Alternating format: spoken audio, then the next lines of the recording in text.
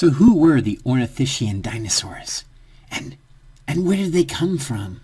Welcome to the Natural History of Dinosaurs. My name is Benjamin Burger. I'm a paleontologist at Utah State University, teaching in the heart of Utah's dinosaur country in Vernal.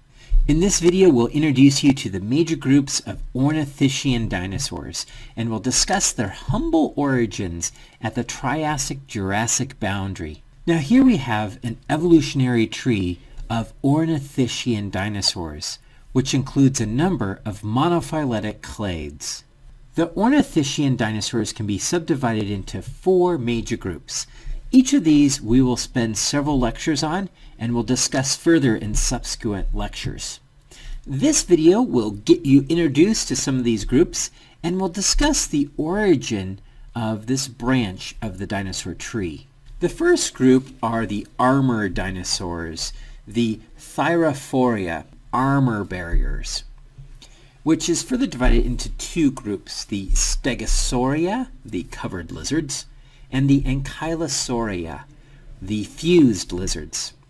The next group is the Heterodontosaurids. Uh, these are the different toothed lizards, and we'll discuss those in this video, since some researchers place them near the base of the Ornithischian tree of dinosaurs.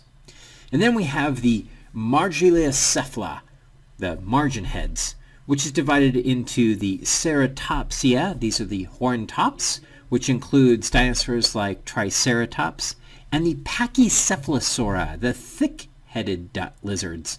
And finally, we'll have the Ornithopoda, the bird feet dinosaurs, which in my youth we called the duck-billed dinosaurs or hadrosaur dinosaurs. And they're a very successful group and we'll spend some time discussing them in later videos.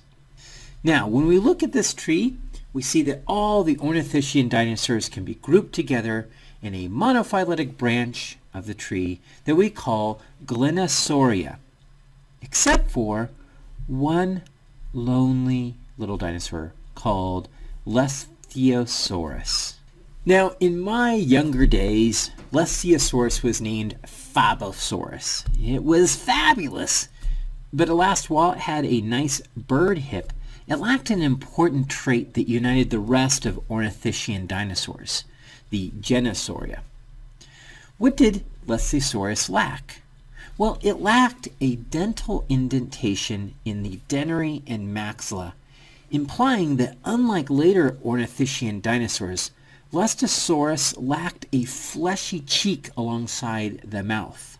So poor Lesothosaurus couldn't do this.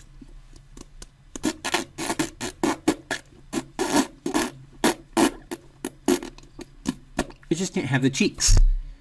Now Lesothosaurus is the best known earliest ornithischian dinosaur, and it was about the size of a chicken.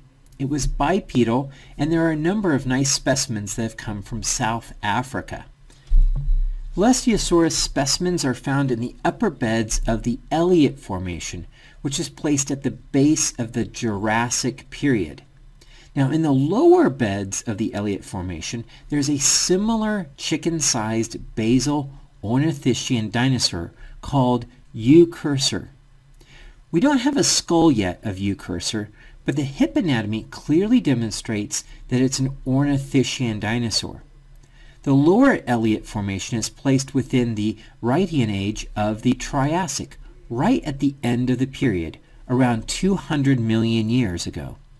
The only other contender for the earliest ornithischian dinosaur is the poorly known uh, Pisanosaurus from South America, it's only known from a fragmentary lower jaw and some fragmentary postcranial bones that come from the Norian age of the late Triassic of South America. Now, in addition to having a uh, bird hip and being bipedal, these little chicken-sized dinosaurs, Eucursor, Lesothosaurus, Pisanosaurus, all have these strange multicusped teeth.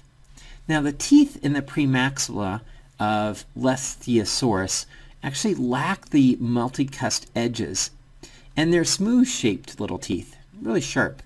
Now this kind of indicates that these teeth in the back of the jaw that had all these little cusps were used to cut into food, while the front teeth that were pointy and smooth were used to pierce food.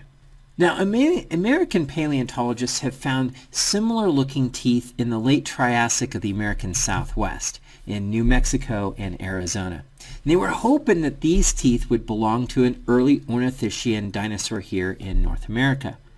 However, they later found more of the skeleton of who these teeth belonged to, and they found that it would belong to a Crurotarsan animal, a Pseudosuchian, which are more closely related to crocodilians.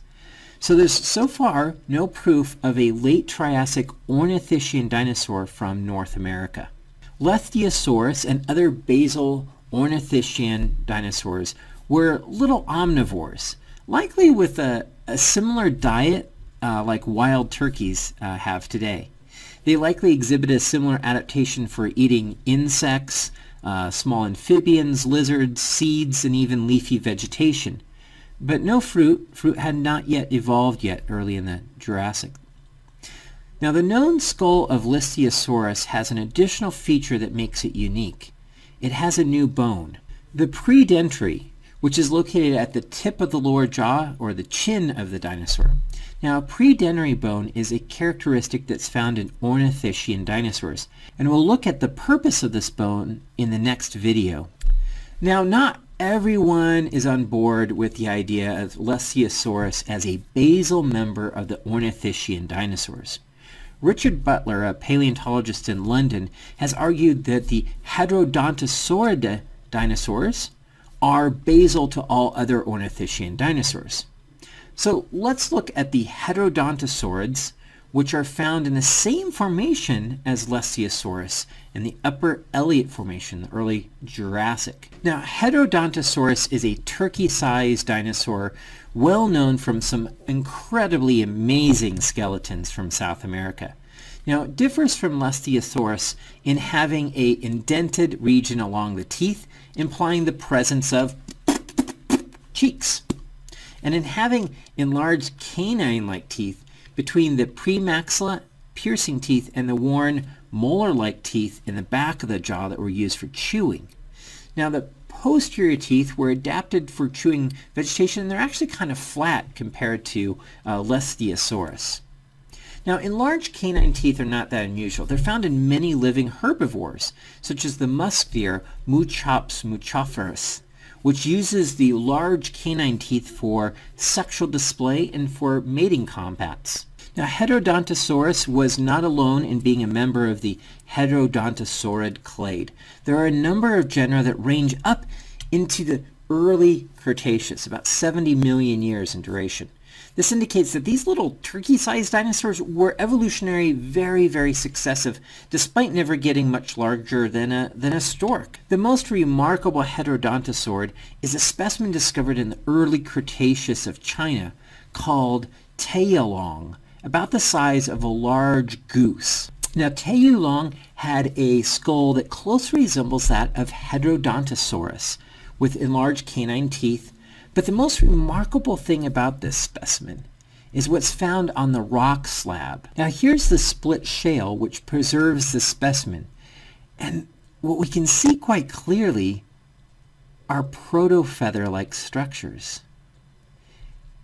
Tianyulong had what dinosaur paleontologists affectionately call dino fluff along the back of the body, which indicates that this early ornithischian dinosaur was covered in fuzzy down-like proto-feathers. It's pretty mind-blowing to see this reconstruction of this little creature. Now, if Richard Butler is right and heterodontosaurids are the basal group of all other ornithischian dinosaurs, it would mean that all later groups had the ancestral condition of being feathered. Now, here's a wonderful reconstruction of Heterodontosaurus by sculptor Tyler Keillor, adding muscles to show how the cheeks would look like in life, and adding feathers to make this turkey-like dinosaur, well, it kind of looked a little more like a wild turkey. All right, now we've looked at the origin of the Ornithischian group. Be sure to review the names of the major groups that represent the Ornithischian clade of dinosaurs.